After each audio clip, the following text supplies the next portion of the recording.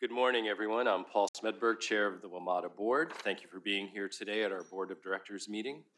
I'll turn the floor over to the Senior Director for Safety Assurance, Greg Kupka, for today's safety contact. Greg, good morning.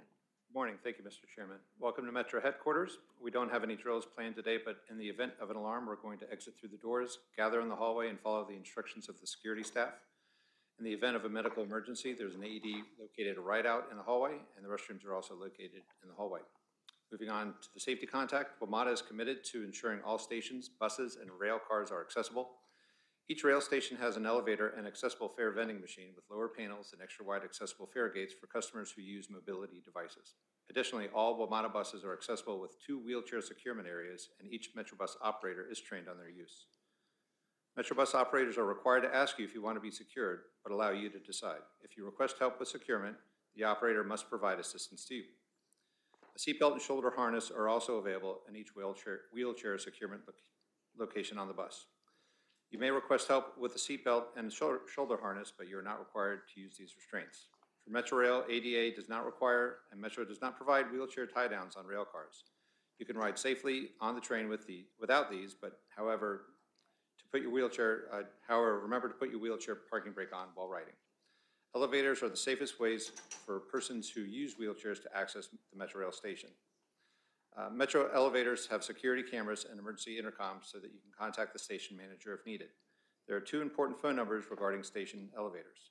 The first is 202-962-1212. Again, that's 202-962-1212, which provides the latest information on elevator outages. The second phone number is 202-962-1825, which puts you in direct contact with the Metrobus shuttle service, which operates when elevators are out of order.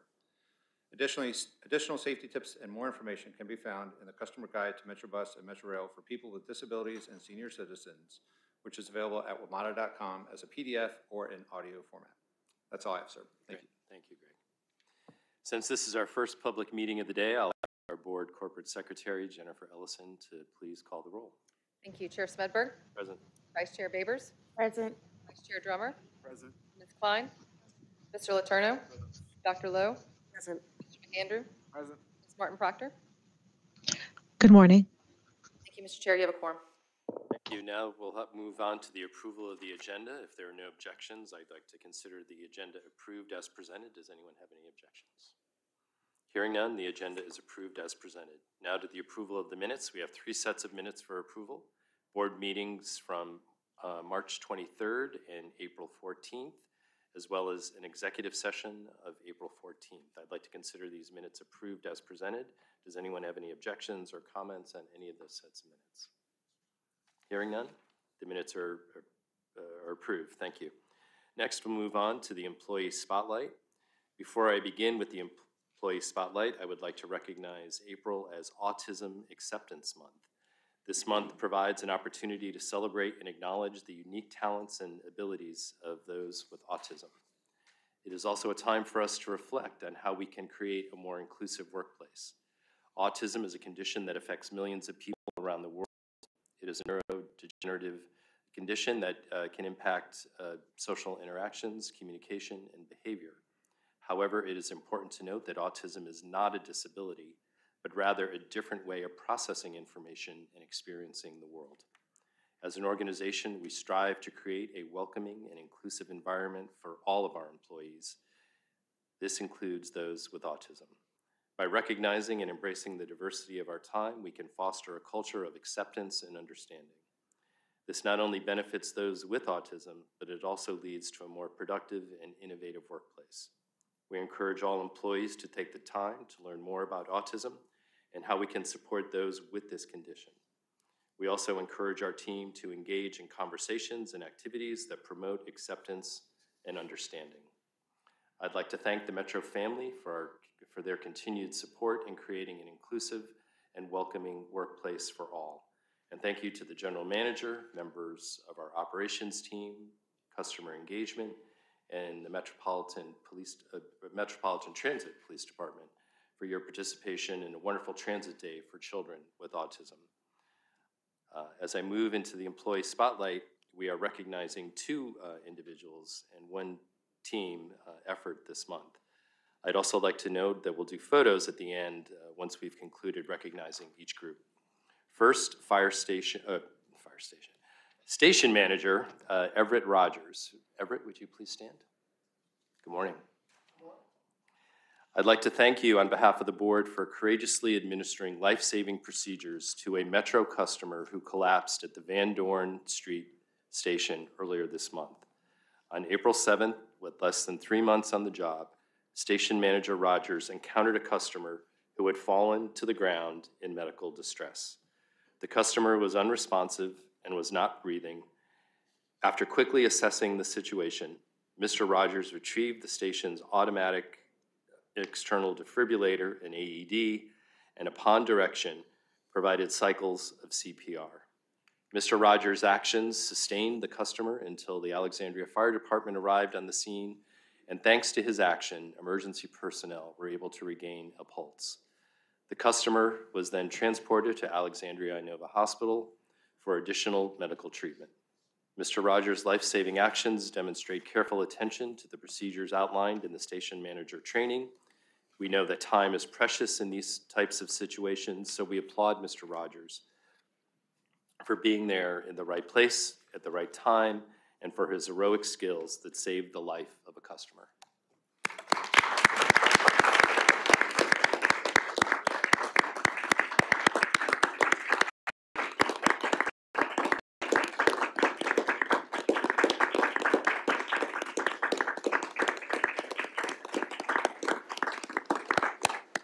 That's one thing that I left out in my report, that when. I left one thing out that was in my report. When fire department ten, I believe, unit ten, was it unit two-ten, when they took over from me, they were working on them. They were having a hard time. So what I did was I backed up. Now and I hear the word, pray for the man. Once I started praying, I called out for God the Father, the Lord Jesus Christ, and the Holy Spirit. That's when the man got a pulse. So glory goes to God on that. Mr.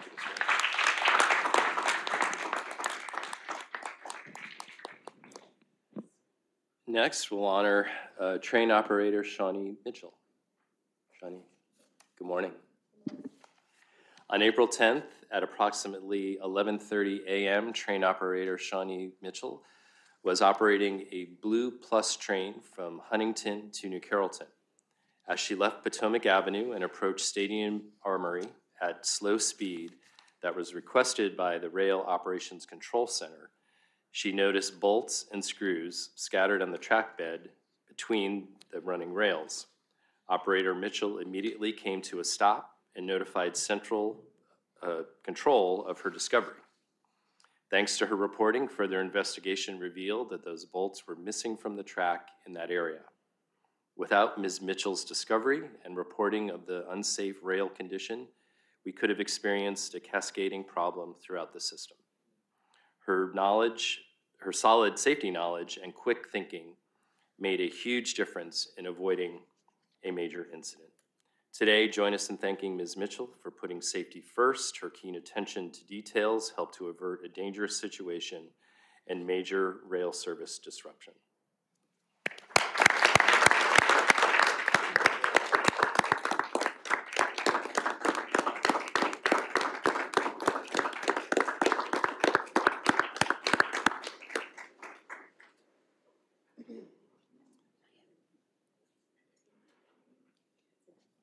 You like to say something? Yeah, yeah, Jose.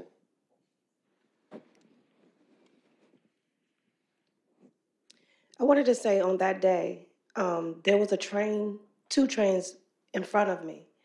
The first train, when they left Potomac Avenue, she reported a big bang, so loud, customers were alarmed. So Central Control, after she had made her way through that section of track, told the next train to go at a restricted speed no greater than 15 miles an hour and report her findings. She said that between a section of track from one point to the other, her train shook profusely. So now I'm the third person going through.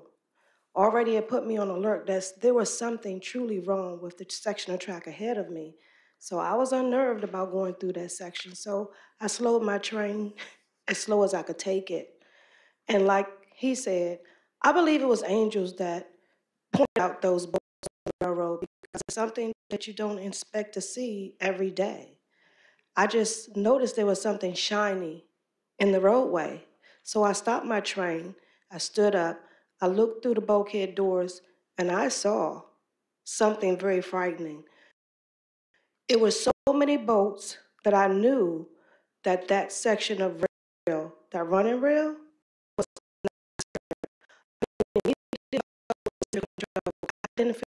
safe taking my. I believe it is SOP 1.79 that the train operator has the sole responsibility for the safety of themselves, the passengers, and to protect WMATA's equipment and to avoid injury or death. So I knew that that was a potential. So I told Central I didn't feel safe doing that. They were kind of alarmed that I was reporting that there were boats on the railroad, so they asked me to repeat. Again, I repeated, I don't feel safe taking my train through this section of track because I see, and I started counting one, two, three, four, five, six, seven, eight, nine, ten. They exceeded the distance of a running a, running board, the running rail cover, which is 10 feet, and I could see them beyond that amount.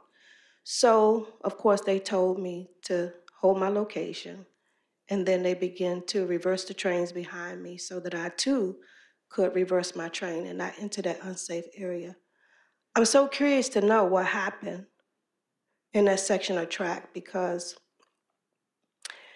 had the angels not stopped my train, and I truly believe that because the first two train operators, operators didn't catch it, or perhaps it didn't happen until the second train went through.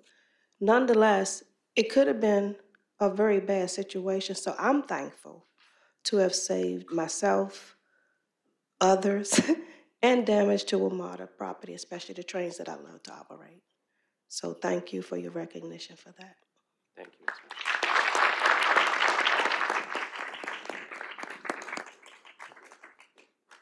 And finally, uh, we'd like to call on the 16 employees who are being recognized for their leadership, dedication, and contributions to our fiscal year 2024 budget development and engagement pro- uh, process. Would the following employees please stand? Renee Ciancola, Outreach Manager. Good morning, Renee. Viola Davies, Senior Director of Operating Budget. Dante Frank, uh, I'm sorry, Dante Hamilton, Financial Communications Analyst. Serene Khalid, Audio Visual Production Team. There we are. Mark uh, Irvine, Director of Strategic Initiatives. Marcus Markle, Strategic Communications Manager. Dante Parker, Audio Visual Production Team. John Pasick, Deputy Board Secretary. Adam Paul, Assistant Director of Bus Rail Service Planning and Scheduling. Jose Reyes, Board Program Manager. Lisa Schooley, Director of Planned Project Communications. David So, Director of Financial uh, Reporting. Erica Taylor, Board Executive Administrative Specialist. Matthew Tingstrom, Senior Director of Management Analysts and Planning. Erica Thompson, Director of Capital Planning and Program Development. Catherine Vanderwart, Director of Strategic Intelligence and Analysis. Your work contributed uh, to the approval of our $4.8 billion capital and operating budget that began July 1st, 2023. The budget supports increased bus, bus and rail service, simplifies fares for customers, creates a new low-income fare program, caps Metro access fares at $4, furthers the Better Bus Initiative, and enhances safety measures. The board extends its thanks and appreciation for your timeless efforts to draft the budget proposal and fund priority initiatives, gather feedback from the board and community partners and our customers, and reflect this impact in our final budget. Your work enabled us to obtain support for and approve a budget that represents Metro's commitment to provide safe, reliable, affordable, and sustainable service throughout the region. Thank you all so much uh, on behalf of the board and everyone uh, and all the jurisdictional staff too. I know we, you interact with them a lot, or, or we do anyway, and I know some of you do as well. And I know it means an awful lot to them to have that kind of collaborative relationship with you all as we get through this process. So thank you.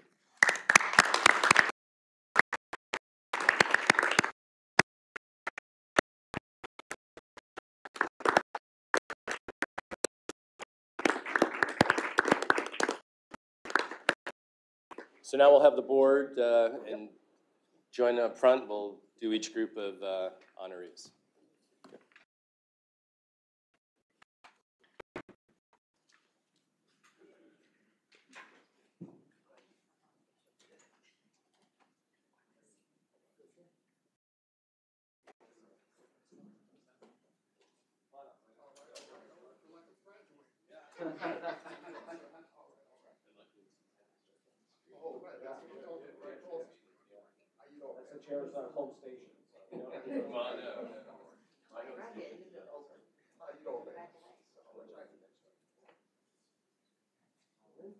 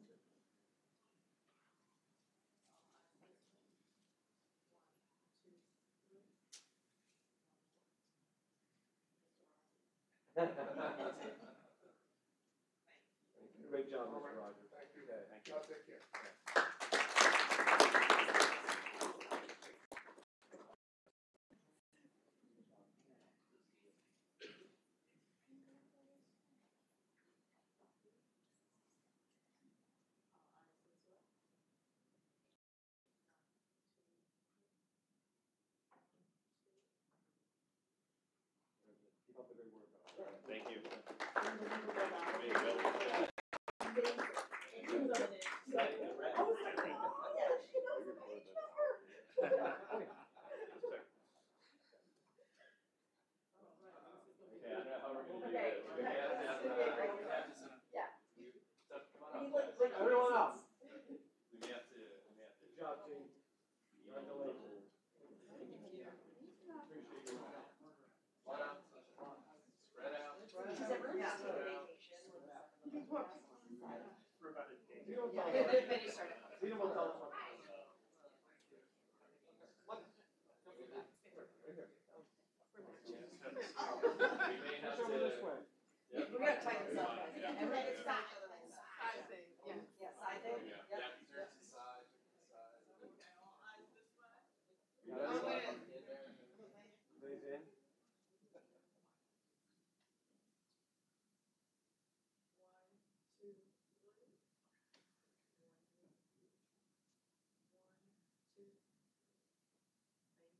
Good job, everyone. Great job. Start on next year's budget already.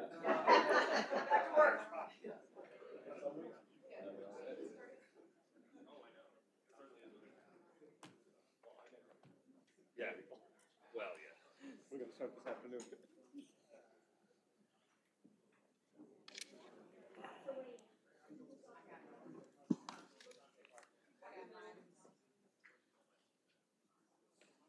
So uh,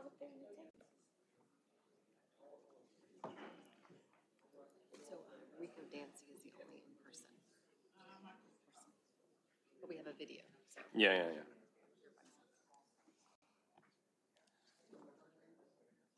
Okay, now we'll move on to our public comment and reports by our advisory boards. We have one person who submitted an online comment, so I'll ask staff to please play that one first.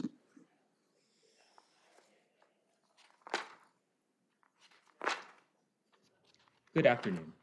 My name is Kevin O'Brien, and I am here today on behalf of the Washington Area Bicyclist Association and its 6,000 members across the capital region. Our mission for over 50 years is to empower people to ride bikes, build connections, and transform places. We envision a just and sustainable transportation system where walking, biking, and transit are the best ways to get around. Bikes and transit are a winning recipe for affordable and sustainable mobility across the region. Bikes, whether shared or personal, are the perfect tool for the first and last mile of a transit journey. Since 2019, WMATA has welcomed full-size bicycles on trains at all hours where space allows. We and our members are so grateful for this change. While most Bike Plus Metro trips take advantage of bike parking and Capital Bikeshare at stations, the flexibility to bring a personal bike on the train has proved transformative for so many people, including myself. Biking to and from Metro on each end of a trip greatly expands the reach of transit and can be quicker and more flexible than navigating bus connections. WMATA's network perfectly complements the region's growing bike network and vice versa. This month, we had the opportunity to meet with WMATA staff to review the new 8000 series railcar design. We deeply appreciated that engagement and appreciate even more the thoughtful design and accessibility improvements staff developed and presented that notably improve on the 7000 series. We enthusiastically support the proposed open gangway walk-through design that, along with more bench seating, will help reduce crowding and allow more options to reposition once on the train. And we especially appreciate the inclusion of flexible spaces designated for bicycles, strollers, and luggage. Designated space for those of us with bulkier items, combined with a more open layout, results in better accommodation and a smoother transit experience for all of WMATA's diverse ridership. Thank you for the opportunity to share today, and we look forward to working with WMATA towards a multimodal future. Okay, and we have one in-person speaker today, Mr. Rico, Dan- Mr. Rico Dancy. Good morning, Rico.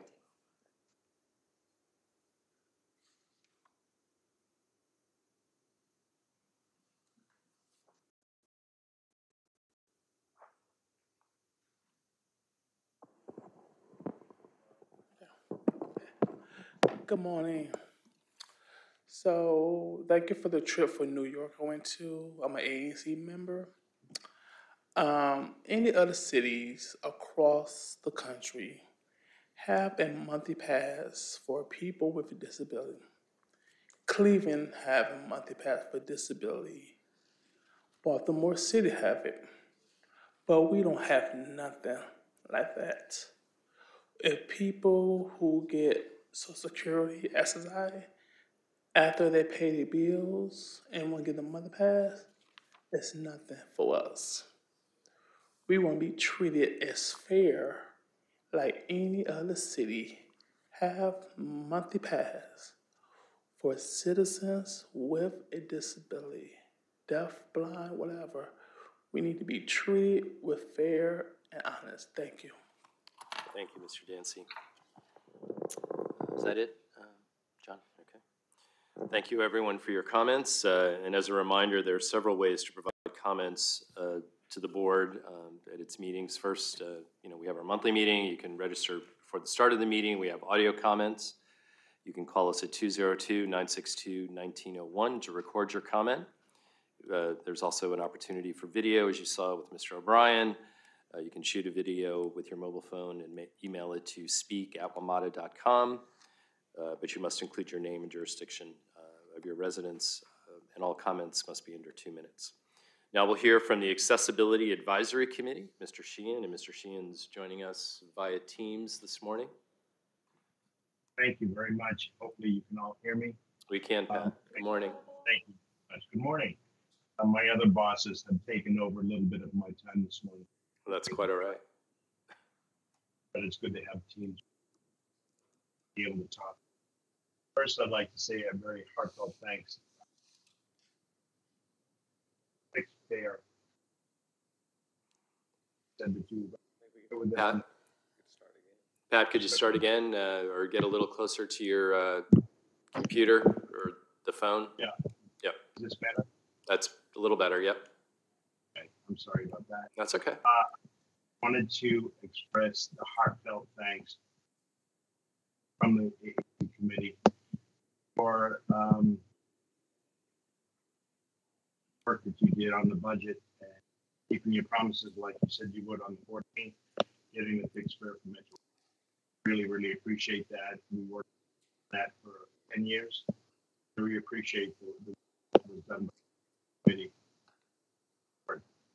that uh, on the first of May.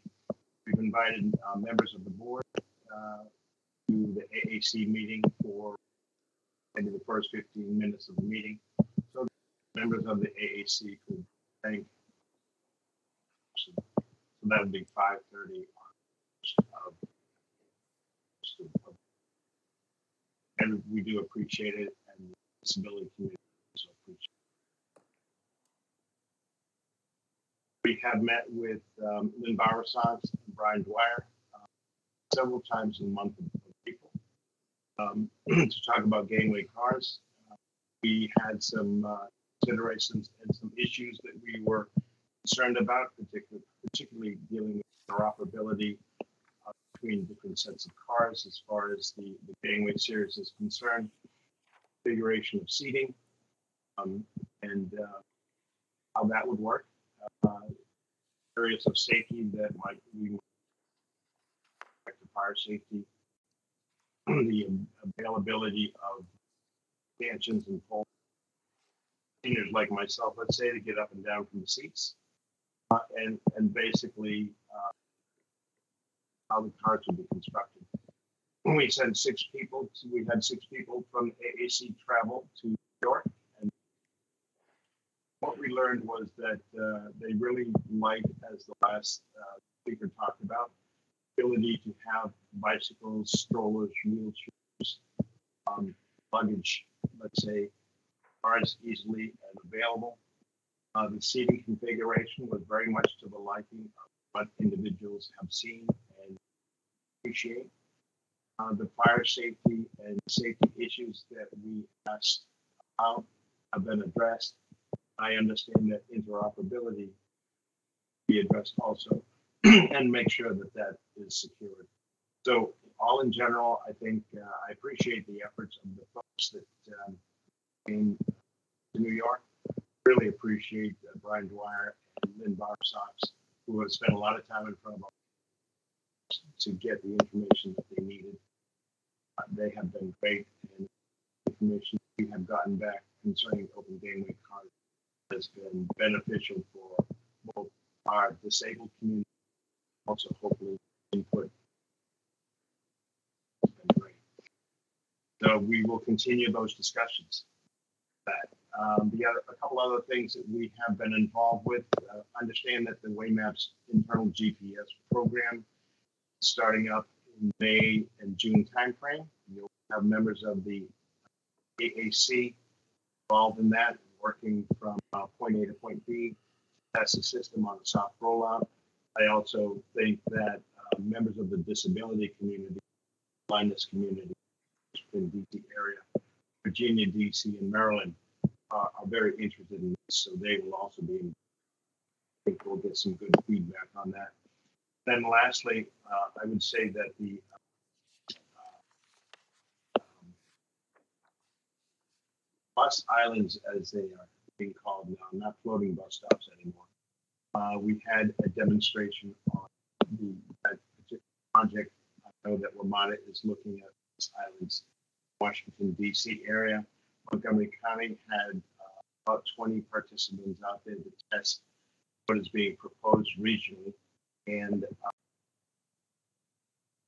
configuration of what we saw was very good. We appreciated the work at Montgomery County. It was good to have WMATA out there. Members of the AAC were also out there. The Access Board was out there, and so was uh, some other stakeholders. So we think we're going to make some good progress with respect to getting uh, bus islands, as we're calling it now, a good configuration. And then I heard later on that the Federal Highway Administration also standard configurations out these bus islands nationwide. And Montgomery County will be asked, I think, participate on that. I think that uh, ought to, with the work that they're doing in this area and work inside Montgomery County. to participate too. So it's- nice to be leading the pack on something like and have something to show. A good, uh, I think we had a good month. I'm very pleased uh, to report all of this. And thank you very much for your support. Are any questions for me? Thank you, Pat. Any questions for Mr. Sheehan? So Pat, I'm going to put you on the spot a little bit here. How good of a guide was Lynn? Uh, very good. Oh, She did very great. good? Okay, just very good? Oh, she was excellent. She was excellent. Everyone was very, very pleased with the trip and uh, good experience and the feedback that uh, nothing like being able to walk on the trains and get the. Yeah. I like what I've seen. I'm sure the RAC had favorable uh, things to say. Lynn has been great. Uh, She's really addressed all the questions, given us plenty of time. A lot of good feedback. All right. Okay, thank you, Pat. Excellent team. Thank you. Thank you so much. Thanks for all your committee's work. Uh, Next, uh, I'll call on Mr. Mike Leibowitz, the Riders Advisory Council's newly elected chair, to provide his report. Welcome, Mr. Leibowitz.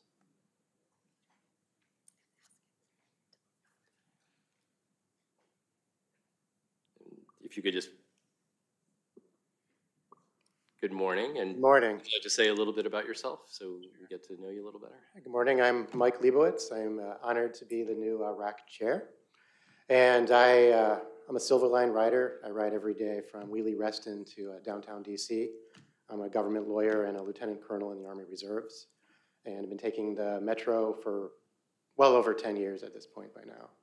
Um, I also would like to uh, acknowledge Brian Meyer, who's sitting back here. He actually came here uh, you know, to kind of do the handoff for the RAC. Um, his leadership of the RAC was amazing. It's something that I hope to emulate, just the way um, his pragmatism and his, uh, his attitude and his devotion to um, being an advocate for the riders is something that um, I really admire. And uh, you don't mind having him stand up just to acknowledge him, I would love to do that. It was really just to embarrass him more than anything else by making him half stand up. So um, on that note, we did have a very busy, uh, the RAC had a very busy um, April. Uh, we, uh, we, had, um, we had some good meetings uh, where the RAC asked some very poignant and tough questions uh, regarding the, the gangways for the new 8000 series trains, as well as for the uh, courtesy stops initiative. Uh, for the gangways, the RAC as a whole um, really, uh, really liked the idea, and I think after the after everybody went to New York, I think they were more, more even more bullish about it. We had some questions, uh, just various things about how security things, how more tact, tangible things would work. Um, same thing with the courtesy stops. So we had some very tough questions, mainly because we wanted to avoid unintended consequences that might come out of that to make sure that um, the uh, kind of everything was thought through and, and the answers were all very good, or to the extent there were no response, or they didn't have any answers, they said they would get back. So I thought that was an excellent discussion. And um, the one thing, another thing I wanted to talk about today was a new thing. Uh, April was the first month of that the RAC has completed its first annual report. And uh, according to the, a reading of the RAC bylaws, it's within the first sentence of the mission statement, and uh, the fundamental um, goal or activity of the RAC is to seek rider input and uh, actively seek rider input and gauge what was of rider concerns and then what potential proposed potential solutions. So my view, and this is uh, carrying on from the leadership of Brian, is to be, kind of be the unfiltered voice of the riders so we can kind of compile what their information is, what's going on, and bring that to the board's attention along with proposed solutions to the extent we have some of that. Um, I want to hit a few high points of the, uh, of the re- review or the annual report, if you uh, don't mind. And uh, so the big finding that we had, again, the methodology was uh, RAC members went out during commutes and rides through, uh, for over a course of several months uh, recently and just asked riders essentially three questions, or a couple questions. of What are your top three concerns uh, regarding transit? This is across the transit zone, buses, trains, metro access. And what are any potential or proposed solutions you might have uh, to address your concerns? So the RAC compiled those into our report, put them in the report, and then um, that's, so I hope that uh, this board take, you know, reviews some of that and uh, takes into account because this is the unvarnished view of what the riders out there every day are thinking and saying is um, that's based on our methodology. And the big thing is that riders said that they, across the board, riders thought that things are noticeably improved over previous years. Uh, riders that pay attention more to the inner workings of WMATA specifically cited the general manager, Mr. Clark. Um, I agree with that, thinking that, saying that things are looking better and looking good. However, the caveat is the riders at the same conversation said they're waiting for the system to fall apart. So it's, uh, so um, good luck, sir. But, um, so but the main thing was that the, uh, the biggest, so kind of calculating statistics of the, over the 100 people that we spoke to, 60% of the riders um, stated their, one of their top three concerns was the long-term health of the system and consistency of operations. And that was a, a big jump of that. Um, and then there's another, some of them more surprising. I'll, I'll just tick them off really quick. Uh, fare evasion was 39%, which I think is probably not surprising to you at this point. Um, one that surprised us was the smoke, marijuana, invasive customer behavior on trains, buses, and stations. 27% of the people we spoke to said this was among their top concerns. Um, bus frequency and crowding was 26%. General safety was 24%. Another interesting one was the parking lots and costs, um, particularly in the outlying, in the suburb, um, 14%. And then 12% actually had issues with uh, MetroCard reader issues. So the long-term health one, I think, is, is the big one for you because all the other ones riders describe as almost like death by a thousand cuts, where you might look at the smoking one as kind of a seemingly minor issue, or parking lot cuts as seemingly, whatever you look at it, but then what riders, what they express to the RAC is that it compounds, and it compounds on each other. So, and I want to give you a really quick anecdote, it'll be brief, and usually I won't talk this much. Um, just because we wrote a report, we feel like we need to talk about it.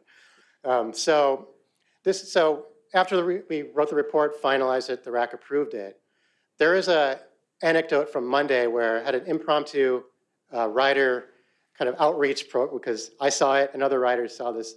And it kind of encapsulated a lot of what we incorporated in the report.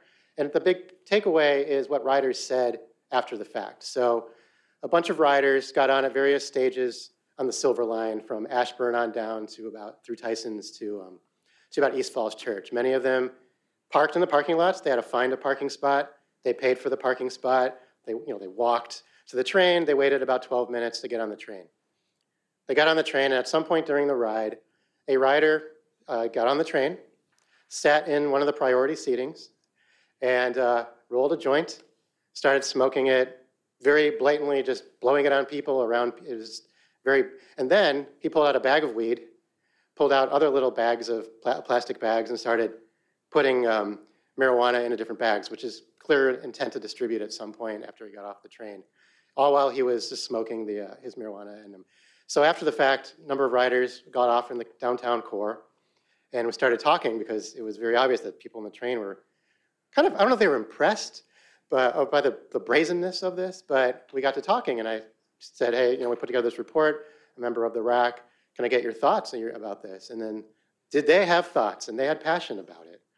And so the reason why this is a big deal is, is because, again, it's the death by a thousand cuts. They said, well, you know, all of them brought up paid for parking. We had to find parking. It took 12 minutes to wait for a train. Got on the train, and then this this uh, ingesting this. And a lot of them, I don't know what he was smoking to be honest, but a lot of people, including myself, had sore throats, which we've all encouraged or um, experienced kind of these smoking incidents on the trains. But that one was particularly rough, and I don't know why.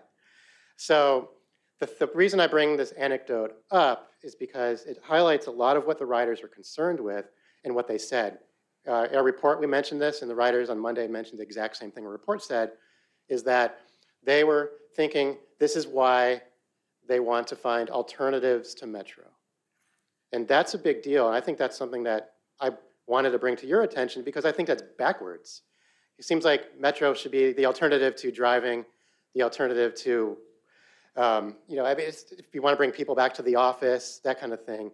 But these riders across the board said they want to limit their amount of time on Metro, and it's because they're citing to all of these different things as compounding on them.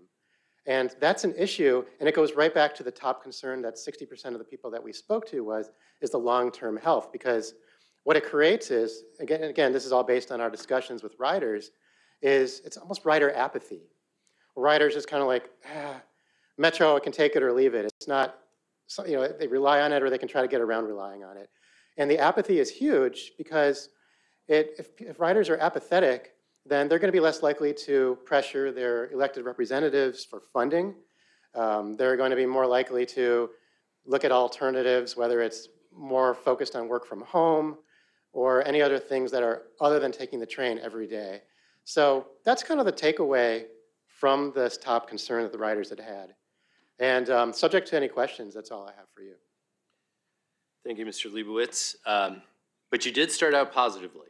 So um, recognizing positives. that Metro is uh, improving and uh, that they're, have faith in the, the, the, you know, the new general manager. Well, I think So- uh, there is a, if I might say one Yeah, thing, as yeah. sir, is that we did have a section in the report on positives, and I think Yeah, the fact that riders still do care, and they, they, they have told us they want the system to succeed. They want it to go. Their concerns are, again, with the financial um, situation, this compounding issues of personal safety and that kind of stuff, all that compounding, but they want it to succeed, and that's, that's a big, I think that's a big point that yeah, I should yeah, have that is a really important point. Mr. Letourneau? Yeah, I get your point. I, I completely understand it. I'm just curious, just, just for pure, did any of those riders text MTPD at any point during that like 40 minutes? Just curious. So that's actually one of our recommendations in our report addresses that exact issue, because I thought about doing that. Yeah. The only time I think in recent times that I've personally texted MTP was, um, was there was a uh, incident where an individual was smoking cigarettes and deliberately walking around the car blowing in people's faces. In this instance, I think people were so flabbergasted, but one person actually did mention that he wanted to text um, the transit police, and he went on the, on the website, you know, kind of fiddling around on his phone, and I guess the, I know the text number is there, but it's not easy. Yeah, well, I mean, find. I'm asking because maybe we need to do a better job Yeah. making that really visible. It's, it's in the. in Yeah, I, I, Yeah. I- right. So, Just to remind everyone right now, you can text MTPD at 696 873. Take your phone out. You, take your phone out It is right now. already in my phone. Program, you can just save it in your phone. I have it under here as Metro Text Tips. 696 8, everyone take out your phone right now. 696 873. Save it in your phone. Okay. So in that incident, people did not. Don't even need a whole, it's not even a whole number. Just put in 696 873. I don't know how phones work, but like amazing, it, it will work. This, I've used, I use it a lot. Is It really works. Okay, Everyone put it in your phone right now. Okay.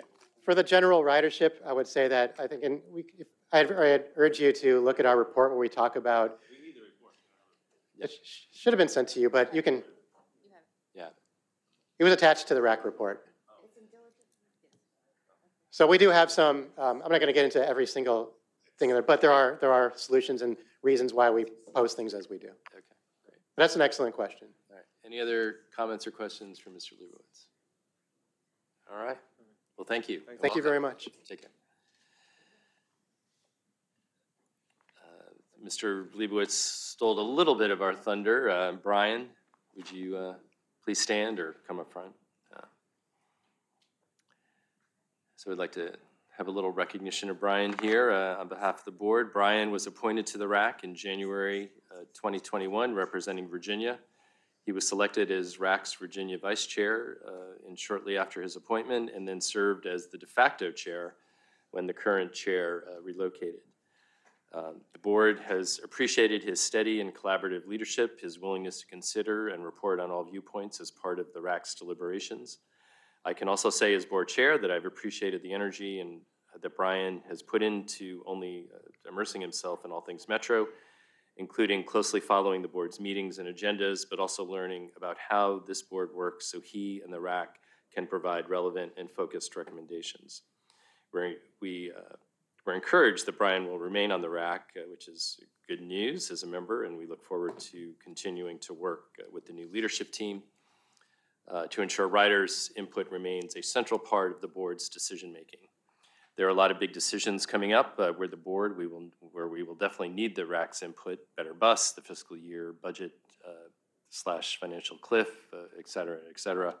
So thank you, Brian, uh, for all you have done. And I know we, you took over at a time of a lot of transition, a lot of new bo- uh, RAC members. Uh, Appreciate uh, also Brian Helfer, who's our alternate uh, federal member, working and engaging with the group uh, and the staff members, and, and John, who uh, chairs the RAC, uh, but, uh, or uh, staffs the RAC, sorry. Um, uh, But would you like to say anything? Yeah, of course. Perfect. Well, thank you so much, Chairman Smedberg and everyone else on the board. It's been a pleasure working with you. Not only do I just appreciate the recognition, but more importantly, I am very grateful and thankful that you all have created an environment of transparency and collaboration.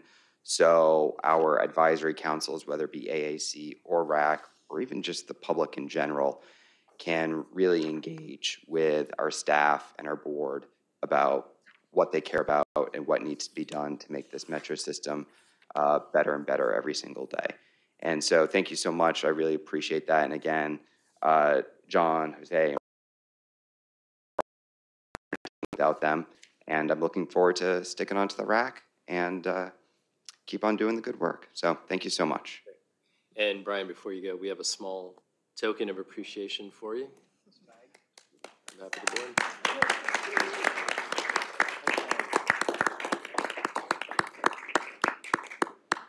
Again, Brian, thank you for your leadership during that time of transition.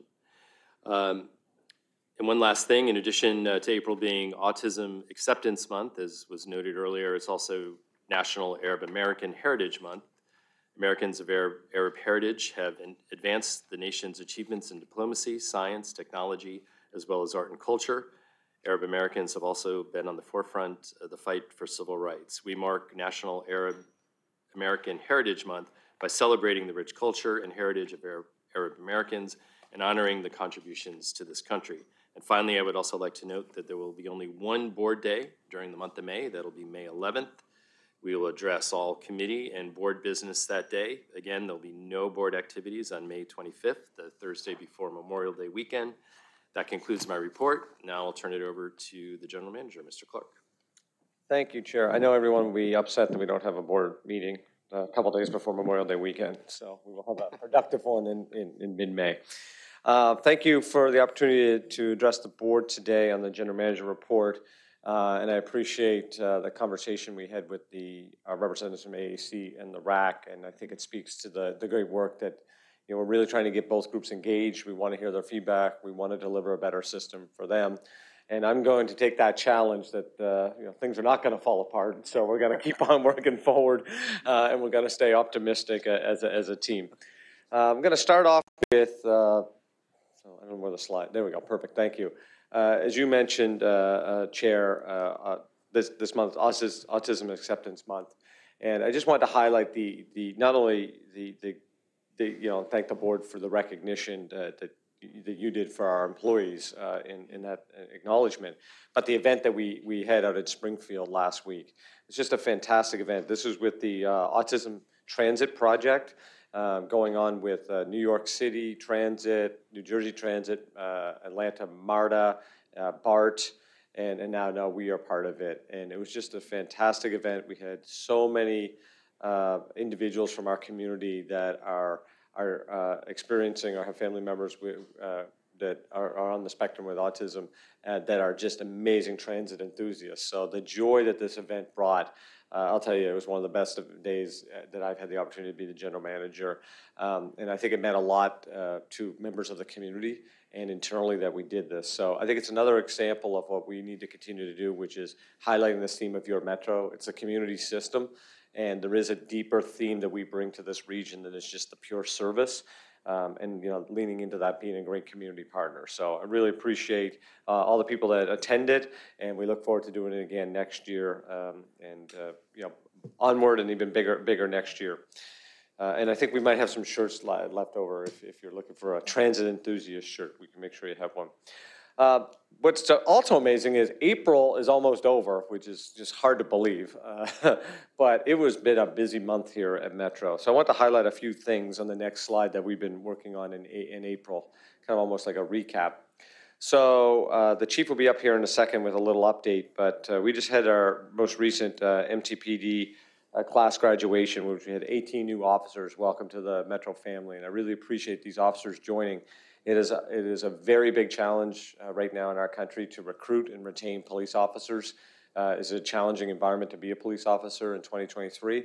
uh, and these individuals decided to be part of this organization. So we thank them for being part of it, and I appreciate the ongoing leadership of Chief Anzallo. We are very lucky to have the chief. He has an enormous amount of experience, and he brings just, just great leadership. He understands the concept of community policing, and there's probably no more community policing than, than anywhere in America than transit policing. It's engaging directly, um, and you know he emphasizes you know, getting out and giving directions to someone is actually the best form of kind of policing versus having to worry about the actual problem. So I appreciate all the work the chief's doing, and I welcome our, our, our new officers to the department.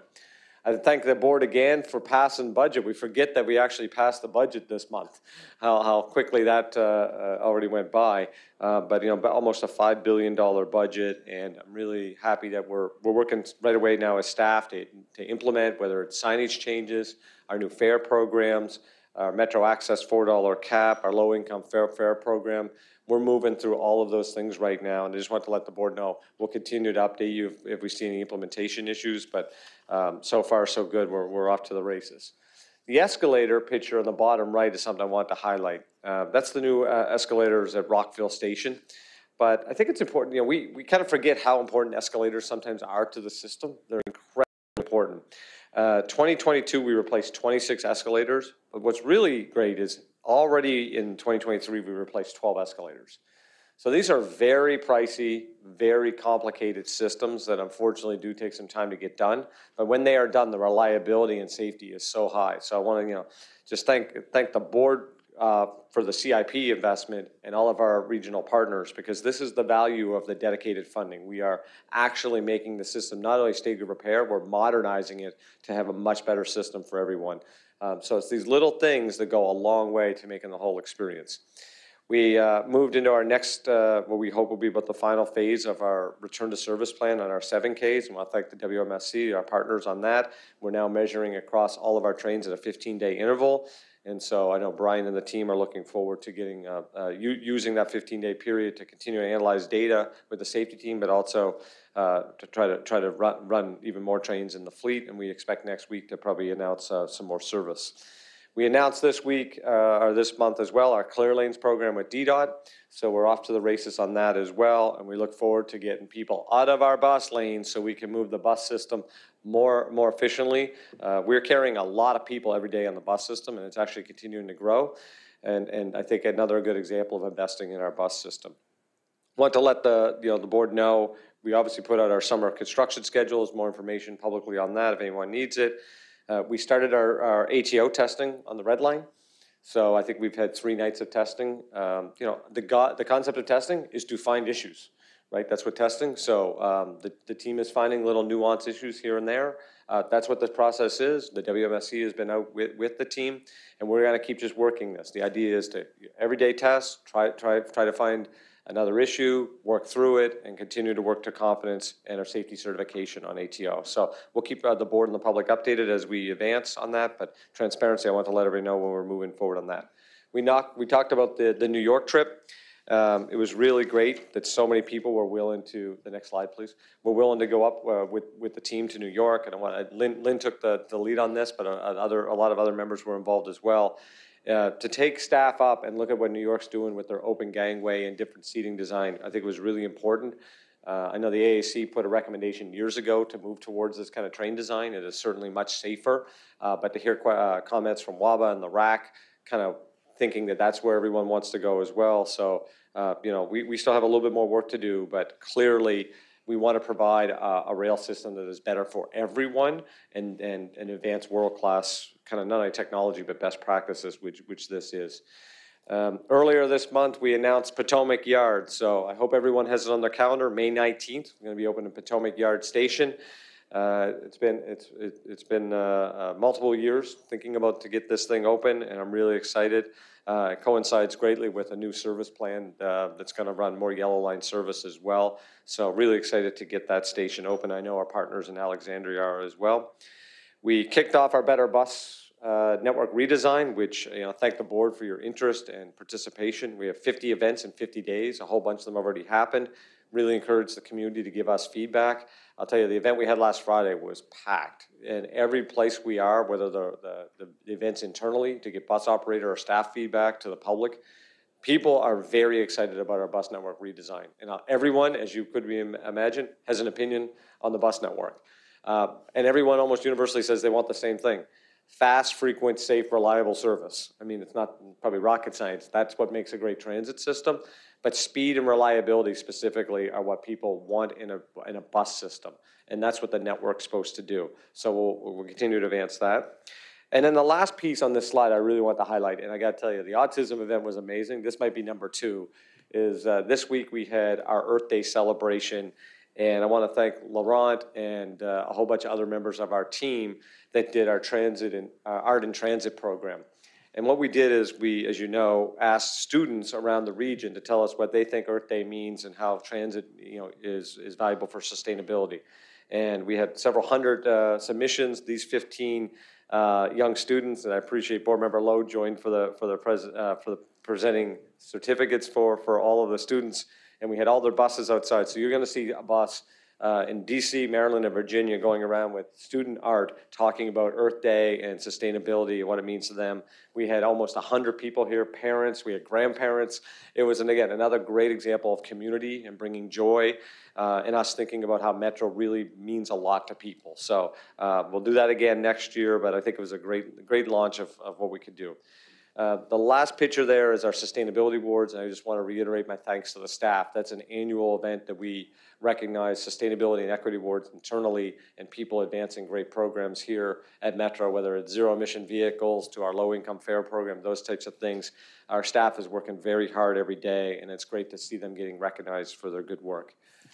Uh, The last piece I do want to highlight is a little bit on the visibility, ambassadors, public safety piece. So uh, we are working incredibly hard on this topic. This is a topic we probably talk about every single board meeting. I certainly, uh, I was at a Fort Totten station yesterday, uh, talking to people on the train about it. Uh, I will tell you again, we have police officers everywhere in this system. Everywhere that we can, we have police officers. I saw, just yesterday on the train trip, I saw four different officers. So uh, they're doing car checks where they're walking on the train, looking back and forth, getting off a train. Sometimes they're ra- riding two stops and getting off and riding the other way. Uh, we have special police officers that we hired and put them at a whole bunch of stations. Our partners at MPD and a bunch of other regional partners have, uh, have are staffing extra details for us as well. Uh, but we also got to be honest, we're never going to have a police officer everywhere. And as much as that story bothers me of someone smoking, I think most people realize we, there's only so much we can do. So additive to the police officers are things like ambassadors. So currently, uh, I believe it is, we have 25 ambassadors. I could see us definitely uh, uh, adding to, to this. This is basically a customer service type of role that is more eyes and ears out on the system, can tell you how to get around, how to help you with a mobile fare. A couple of yesterday, I saw, I actually ran into ambassador on a train. She's talking about how she's helping people use mobile wallet to get off the SmarTrip, as an example. She's at a map, helping someone where they could do trip planning, uh, where to go. Uh, we want to bring that customer-oriented approach uh, to Metro, so it's both, you know, visibility, safety, security, but also customer-centric. Uh, To the question about uh, M- MTPD, we are going to be launching a very significant visibility campaign about texting uh, my MTPD. So that's a good example of, of, of, of what's up on a digital sign right now. But all of our buses, all of our trains are all getting either stickers or labels or signage put on every single one. Uh, we want to encourage everyone to use that. So our role is to make it way more known how to respond if you see something, and our job is to be very fast on that response. So uh, I will tell you that we have this integrated video approach now on our on our vehicles and at our stations. Uh, and our responses are getting faster. They're getting more knowledgeable, so we can deal with things. So we we have to continue to push this idea of please please please let us know when you see something because we can't be everywhere, and we kind of respond really well. Um, last two things I kind of want to, to mention are, and uh, the first one, I know she's going to be horribly embarrassed when I do this, but you know, the, the, the joy of having a microphone. Um, so I want to recognize uh, Christy Swink Benson, uh, so who is. Uh, there's probably no one that has taken more text messages from me in the last nine months, and you know whether it's six in the morning or ten o'clock at night. Uh, Christy makes makes it like I don't like I have no energy. That's how uh, engaged and just committed to this organization she is. Christy is our senior vice president of communications and um, marketing, and uh, handles any and all things in those categories. But uh, there was a, a publication that just came out called Women We Admire in the DC area, and it recognized the top 50 women leaders in DC. And these are the heavyweight leaders in the DMV. And Christy came in number 12.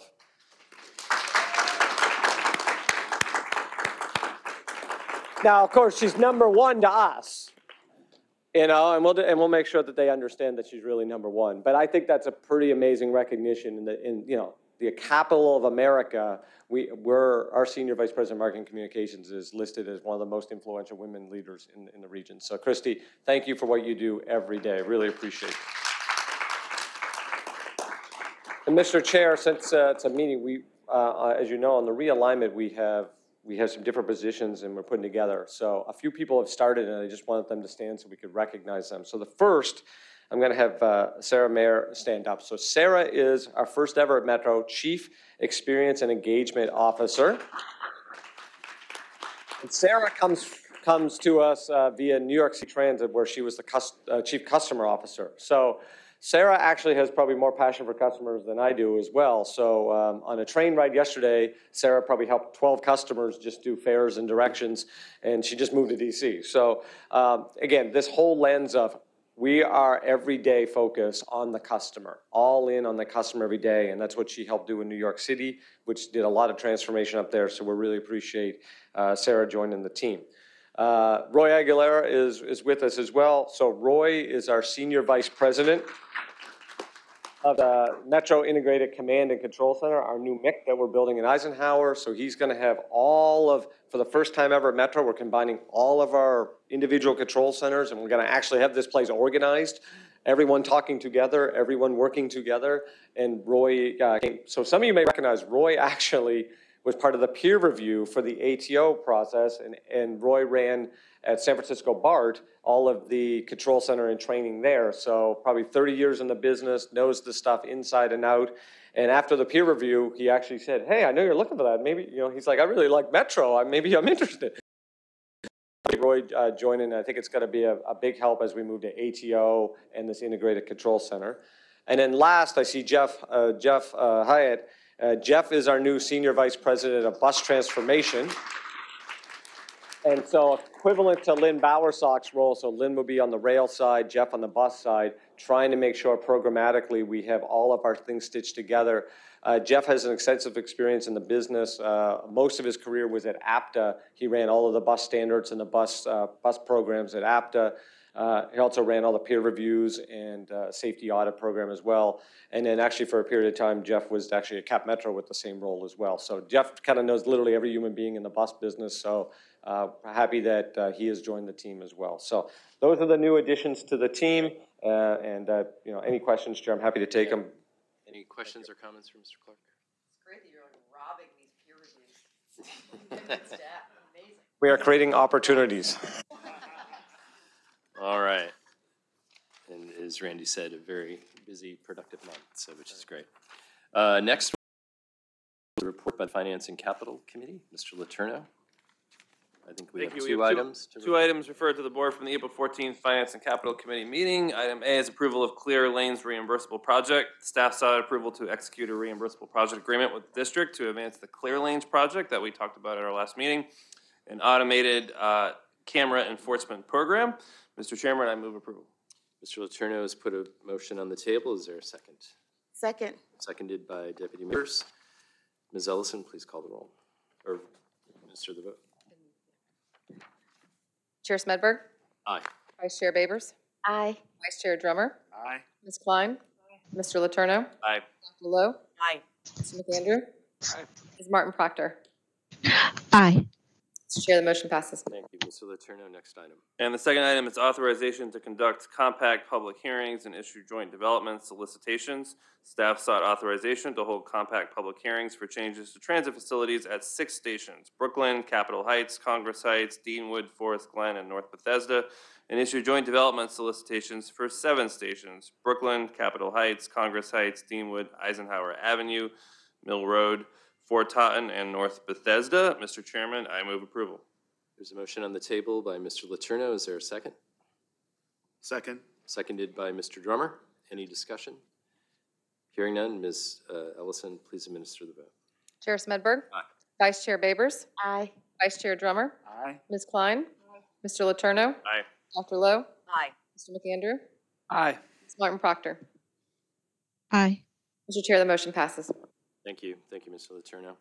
Now we'll move on to the consent items. We have four consent items for board approval today. I'd like to move approval of the following items. First, parking fee waiver during summer shutdown, approval of a resolution to waive parking fees, both rider and non-rider at Vienna, Dunn Loring, West Falls Church, East Falls Church, Greenbelt, College Park, Hyattsville Crossing, West Hyattsville during the summer's orange and green line improvement projects. Second, WMATA debt policy, uh, management policy. Staff seeks approval of WMATA's debt management policy, which increases the capacity of Metro's line of credit to $500 million and caps interest rates at the secured overnight financing rate plus 7%. Third, zero emission bus goal update, approval of a resolution to update Metro's zero emission bus goals, reflecting an acceleration of the transition by three years, including transition to 100% zero emission buses, bus purchases by 2027, and transitioning to 100% zero emission fleet by 2042. And last, indemnification of Virginia Department of Rail and Public Transportation. Staff seeks board approval to indemnify the Virginia Department of Rail and Public Transportation for current and future congestion mitigation and air quality grants, local match funding agreements in subs- in substantially the same form as the proposed resolution. Is there a second? Second. Seconded by Dr. Loh. Any final discussion? No discussion? Uh, Yeah, any voice vote? All in Yeah, favor. All in favor? Do it. Yep, yep, okay. Next, we'll move on to the uh, jurisdictions, uh, jurisdictional reports, uh, NVTC. uh, Mr. Letourneau, I don't. I don't have anything. Yep. District of Columbia? I don't have anything. Okay, we don't have anything. Okay. WSTC, Mr. Drummer? We don't have Okay, and federal government, Ms. Oh, Kline? let me check with Ms. Martin Proctor online. Hi, good morning. No, I don't have anything. Thank you, Director Kline. Okay. Uh, With no further business to come before the board, we will stand adjourned, and now I'll turn the floor over to the Safety and Operations Committee Chair, Mr. Drummer. Uh, Thank you, Mr. Smedberg. Uh, Good morning, everyone, and welcome to the Safety and Operations Committee. Our first order of business, of course, is to approve the agenda. Are there any objections by members of the committee? Hearing none, uh, the agenda is approved. Now to approval of our minutes uh, from our April 14th meeting. Are there any objections? Hearing none, uh, the minutes are approved as presented. Uh, This morning, we have one information item on the agenda. Members of our team will provide an update on Metro's public safety initiatives. Uh, This builds on a presentation we received in January and will also include uh, the status and initial impact of our fare gate retrofit program. So, Chief Anzallo. yeah, are they, I know Chief Anzallo's here. yeah. Mr. Dwyer, uh, Chief Anzallo, and Mr. Webster, I think, are coming forward.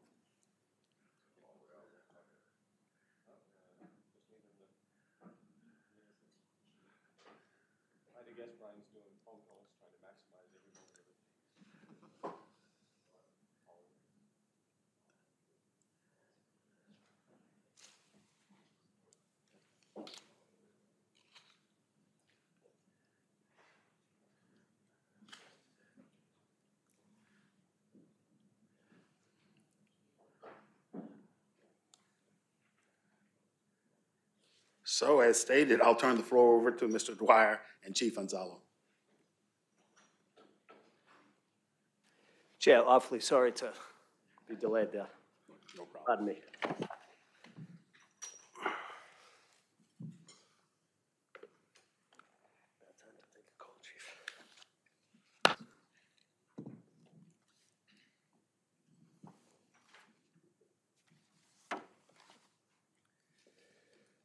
Good day, Mr. Chairman and Madam Vice Chairwoman.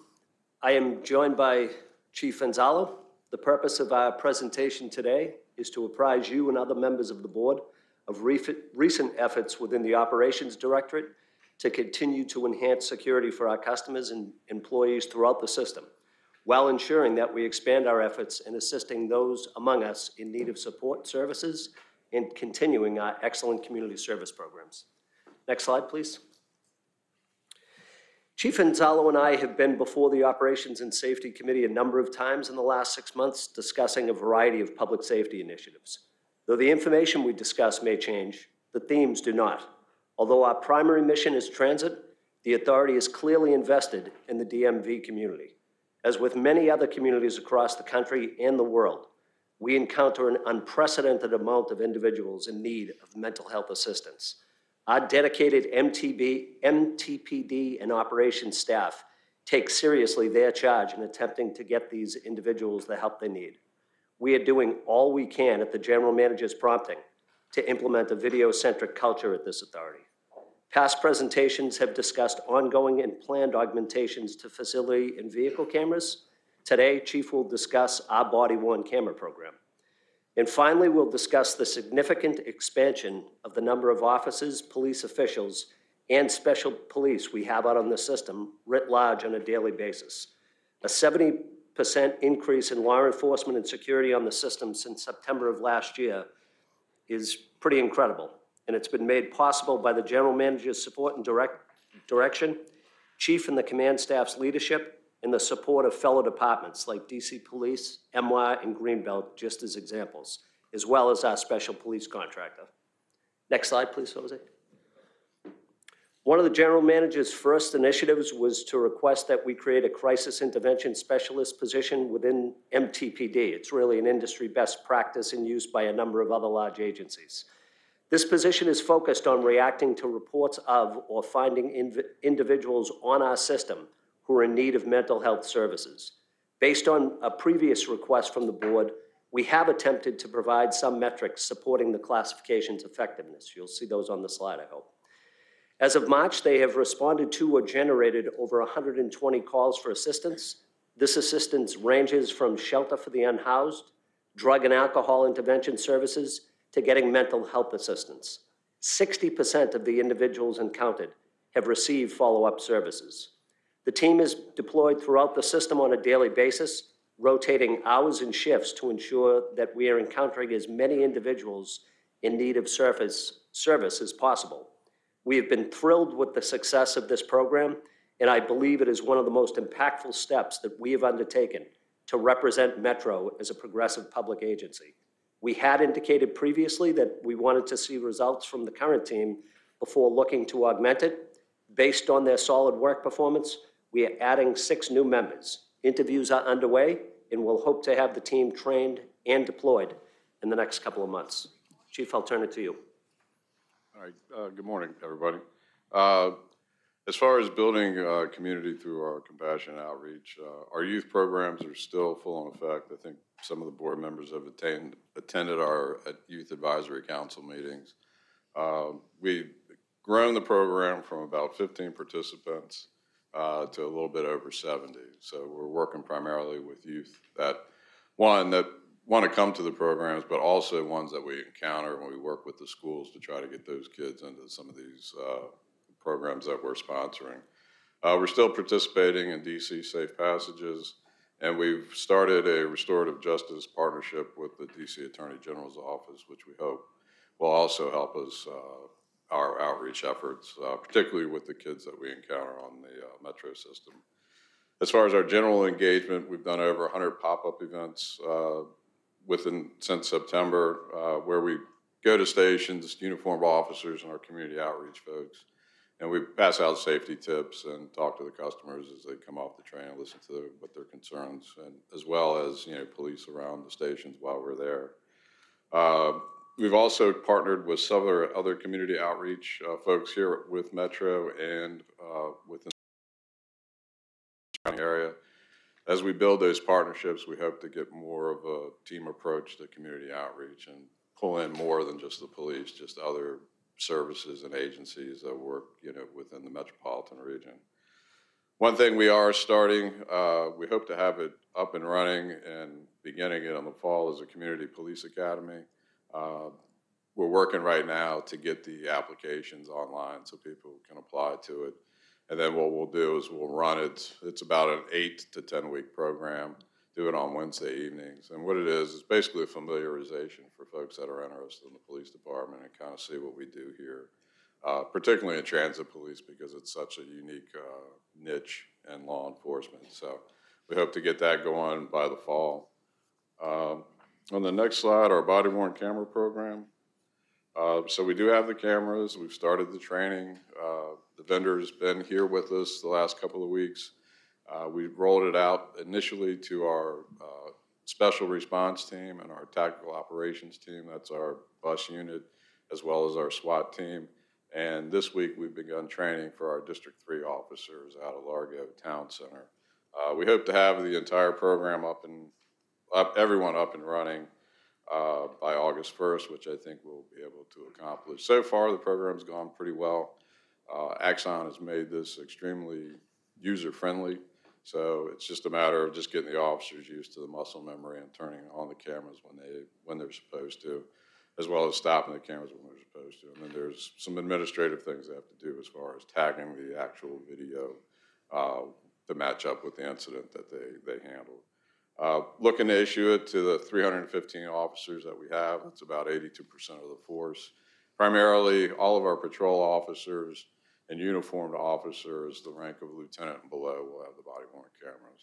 Reason why I don't issue it to me, because I sit around and go to meetings all day, so, you know, yeah, probably not the best, not the best use of our cameras, so. And we're also, we've hired a body worn camera uh, coordinator and manager. Uh, We're, we've hired, we, we still have one more hire to do. So the way it'll work is each coordinator, will we have three districts. So each coordinator will be at each of the three districts. So when problems do come up with the cameras or the officers having difficulty initially, you know, with uh, what we call tagging, matching the incident up with the report, they're there to help them through the process. So, so far, it- it's gone pretty well. But we expect that, you know, like any program, I know uh, we put out an initial policy. With the cameras out on the street, we've already had to tweak our policy a bit, and I expect that to go on probably for the next year or so as we roll this out. Just as reality meets theory in the policy, it's, we'll have to change to make sure it's practical. Our enhanced visibility, uh, through the general manager, Mr. Dwyer, we've been able to enhance visibility uh, through partnerships with uh, Metropolitan Police, uh, Cheverly Police, Greenbelt Police, and the Metropolitan Washington Airports Authority. Uh, We did have Seat Pleasant for a while, but uh, they weren't, uh, they didn't want to continue with the program. Uh, I think they were more accustomed to, you know, doing a different type of policing than they were in transit, so they pulled out of it. So we lost them. But Alexandria is on board, so we expect to have them to start here probably within the next two weeks. And we're still working with some of our other partners to get them on board as well. A lot of the MOUs get hung up, uh, not hung up, I shouldn't say that, but they get uh, reviewed quite extensively through the various jurisdictions' legal offices. So, and that's, that's sort of what we're waiting on, just get through that review process, which is important, I understand that.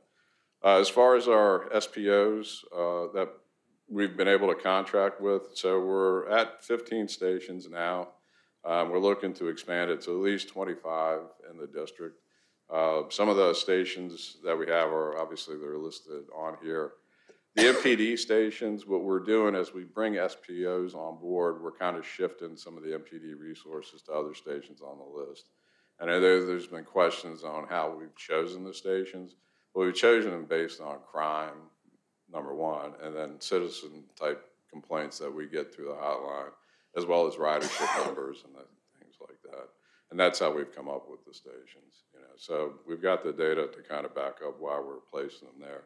Since they've started, at least around the, uh, the stations where we do have the deployed SPOs and the overtime uh, enhancement with the outside agencies, and now it's, it's only a month-to-month comparison, so you have to take it for what it is. But, you know, the month that we didn't have it compared to the month after we got them, there's been a twenty percent reduction in, in crime. So, but that's still just a month-to-month comparison, so we're gonna have to watch that a little bit more as we go along.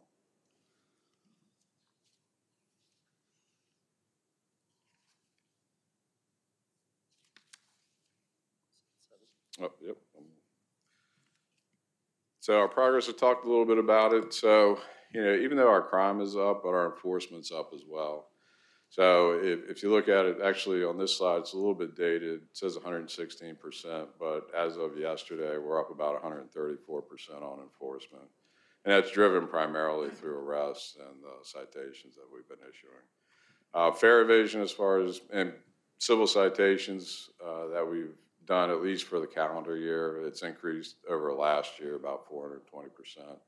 So we're still, you know, working through some of the, uh, the issues with uh, fare evasion. I think with the general manager, Mr. Dwyer, the gates that they've installed up at, uh, up at Fort Totten, I think, you know, as they're testing them, I think that's, that's definitely the way to go. And I think it'll cut down on a lot of fare evasion. So even though our crime's up, our enforcement's up as well. Next slide, gentlemen, please. Thank you, Chief.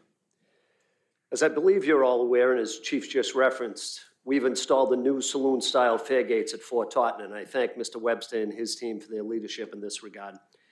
Plans call for the next fare gate replacements to commence this summer with the intention of replacing gates system-wide. The change at Fort Totten has resulted in an estimated 50% reduction in fare evasion at the station. We'll continue to use the gates installed at Fort Totten and the next number of stations to evaluate additional potential improvements to the fare, fare gate design. In addition, MTPD is getting information from Mr. Webster's performance team about periods in the day where we are experiencing higher levels of fare evasion at stations. Chief team is attempting to use that data while making fare enforcement part of the routine that patrols undertake at stations. We'll collectively work to continue to improve data-driven initiative, this data-driven initiative. Next slide, gentlemen, please. And finally, uh, Director Loh, I appreciate your passion about this topic, and I, I think it was timely that we've had this discussion based on the slide. The Text My MTB PT app is an incredible means of direct communication that customers can use to immediately report unlawful or suspicious behavior. For those who have access to our Everbridge system internally, which is the means by which our control center messages out to the entirety of the organization, there are many daily occurrences of buses and trains being held due to reports by customers of suspicious or potential uh, criminal activity. Tips from our customers are anonymous and do not put the person making the report in any type of compromised position as they are not making a call, but providing the information via text. Although, although the application is well publicized, and we've probably had about 1,400 um, texts this year using the app, the general manager has requested that we take further steps to ensure that all customers have access to it. So in addition to existing methods, we will be blitzing our bus, rail, and eventually our metro access fleets with new signage on the application, which in some cases will include the ability to download a URL code if the application isn't already loaded onto your phone. And this has already commenced in bus. We've actually touched buses in every division. Rail, I believe, is starting today. Metro access, we will start soon thereafter.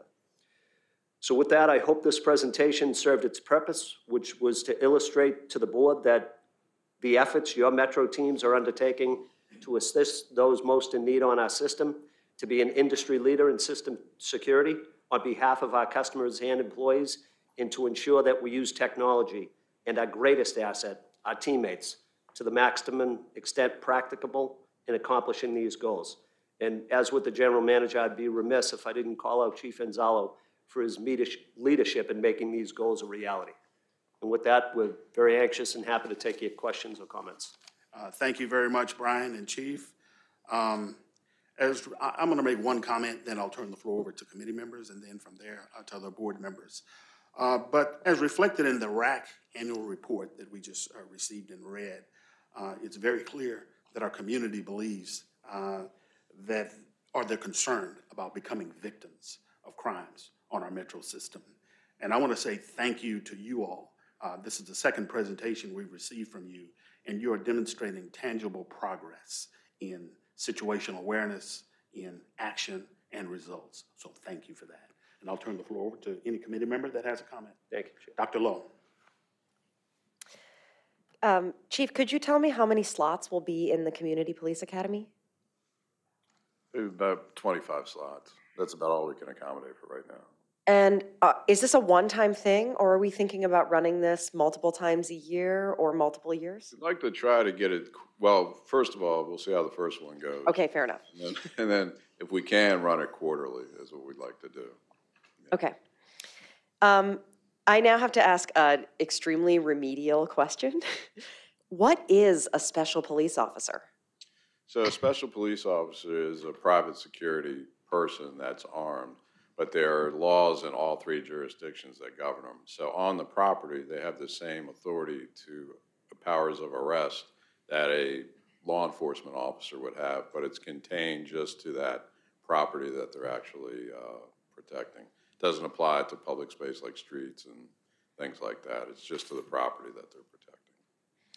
And we've just, in like the last month, started using SPOs? Probably the last couple of months, we started when Mr. Clarke and Mr. Dwyer, we had to work out a few issues uh, logistically with it. And we already had SPOs, Allied was our contractor. So what we did to get it started, we used the existing contract and we started putting them in place. Ok- Okay, contractors, basically. Okay, and how many do we have now? Well, let's see, it, the number, so we have fifteen stations, and to make this as easy as possible, because I don't want to get into how Allied manages their shifts. So it's about hundred personnel on a contract. Mm-hmm. Uh, but there's two special police officers at the fifteen stations from opening till close. Okay. We run it. Okay, this is ringing a bell. I think I've seen them when, while bobbing around. Okay, thank you. Um, I, one point of clarification, um, you do not need an app to use my MT, tech to text my MTPD. I just want everyone to be clear. You can literally just save those six digits in the contacts in your phone and then text, just text it like you're texting a person and someone will respond almost right away. Thank you, Dr. Loh. Mr. Letourneau?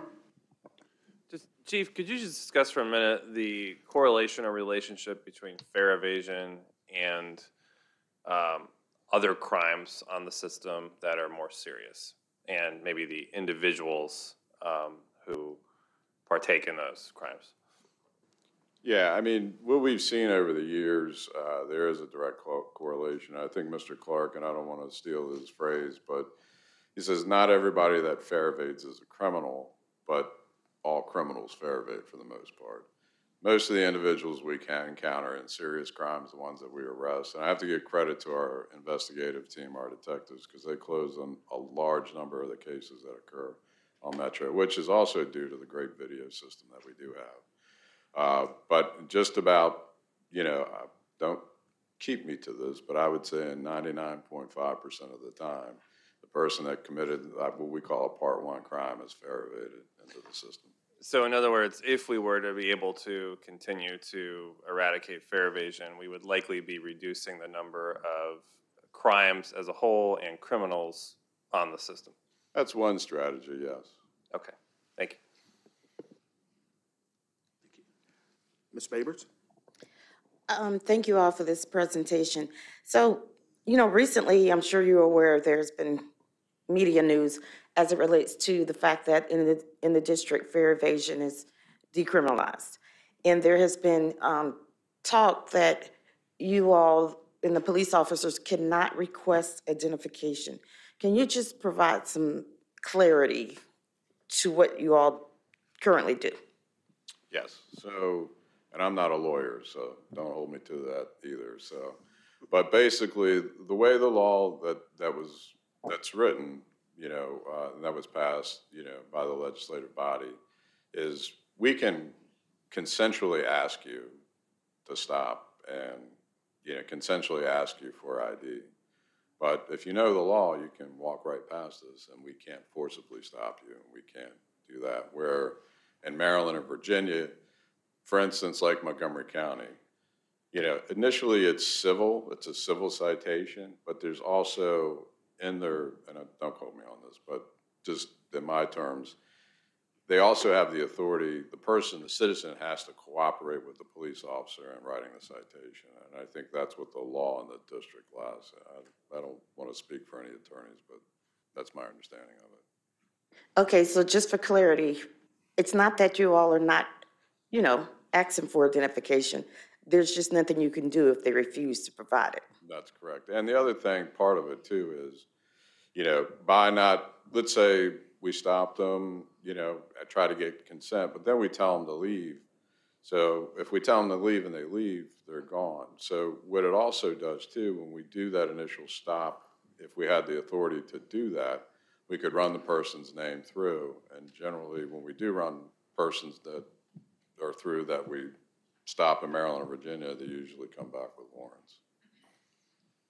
I can. Thank you. I, I, I just had a comment to that, because I think this is a a crucial point, and, you know, there has been a little coverage on that, because I, I, I- in some interviews, I was trying to give context to kind of what the chief has been talking to me about. So, again, the police a- asked for identification, but someone could, you know, in theory say, I'm Donald Duck, and, and the, right now, the police have no ability to actually enforce that piece.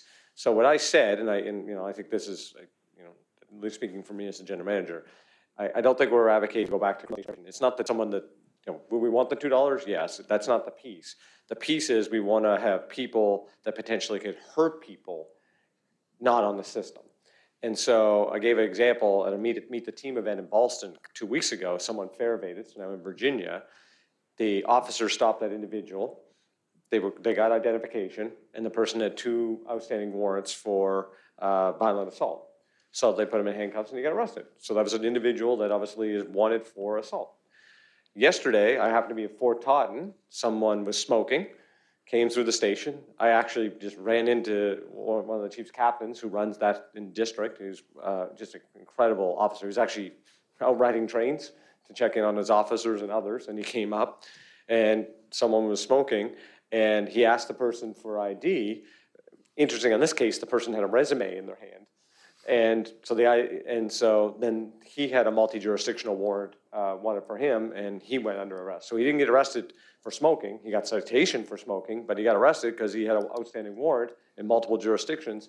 And the reason he was able to do that is because uh, they stopped him for the smoking. So it, I think it comes back to our code of conduct is about fare evasion, it's about smoking, it's about all these behaviors that the RAC has mentioned you know, I think what we would probably want to have some discussions with the district about is how do we just have the I, the true, I think it's called real ID or real name associated in the law. So if you're doing those incidents and you're stopped, we can at least check you for warrants. And if you don't have any warrants, you're gonna get the regular civil citation and go about your day. If you have warrants, we want to remove violent and people that are trying to harm people off the system. And so that's, that's what the chief, I think, uh, you know, and, and others are, have been talking about. Sorry, just, so just to follow, up, just to make sure that I understand um, everything that we just learned, which this is really helpful, thanks for raising this. Like, it's a legislative fix around, like, I mean, if you're gonna write someone, a- like, you don't write the citation to Donald Duck, right? I- Like, we, even if it's just about writing a civil citation for fare evasion, like, even if it's not about this other stuff, you still like need to know the name to issue the citation to. That, that's correct. and- Yeah. It's the chief pointed right now. Uh, Okay, so we, we just need to fix that. Yes, and Pat- Pat, you know, our, our Patty, our general counsel would have the specific language. um, I'm sure, I'm so confident that lawyers are going to help us fix this. Yeah. it- They're going to be a key part, a key part of this team. But this is, this is fixable. It is, it's hundred percent fixable. Yeah, okay. Great. Again, and, and, I- and, I- and to me, it's, how do we, I think we want to really lean into, um, there are people that hurt people in society, and I think we want to keep those individuals off of our public transit system. And we're hearing that overwhelmingly from everyone, whether it's our, the RAC, all of our customer survey research, uh, you name it, that is, this is the number one topic. And, and, and actually on our data, it's the number one topic in DC more than it is in Maryland and Virginia. So people in DC actually want us to, to work on public safety even more than the other two jurisdictions. This is an easy fix. We're going to get this done. Uh, I appreciate the support. Okay, thank you. So uh, thank you for another great presentation. And I will close with one comment. And that comment is, one, uh, I think tonight. Director Drummond? five- Yes. Would it be possible for me to also make a comment before you close out? Absolutely, absolutely. Thank you, sir. Uh, I just wanted to speak as a law enforcement family. I think that the work that you guys are doing is brilliant. I love the diversity in the youth team. I love the fact that you are willing to partner with other services and agencies, that you're not just going for a one fix, that I'm looking forward to seeing the restorative justice program being implemented into what we are doing. And I just wanted to appreciate and say thank you for all the work that you guys are doing and putting forth and making sure that we are doing a comprehensive and a holistic look at safety and service here on Metro and WMATA. Thank you, sir. Thank you, Ms. Vice Chair. I- And I'll make closing comments uh, that are aligned with hers. Uh, The Youth Advisory Council, uh, you meet once a month from 5 to 7 p.m. I had the honor of participating in your last meeting in March. Um, There is one today, correct, in this room. Uh, It's a sight to behold. If you want to see young people engage with law enforcement officials, key staff members from Metro, and generally someone from the outside who is providing them some educational information. It's robust and it's very interactive. So thank you for leaning forward in touching the youth who are the future of our Metro ridership uh, down the line. Uh, Thank you, sir. And just one plug for tonight, so we will have some of the commanders here. So that's, the- they'll be our guest speakers. Fantastic. Chair, I won't make a comment about you being a Cowboys fan.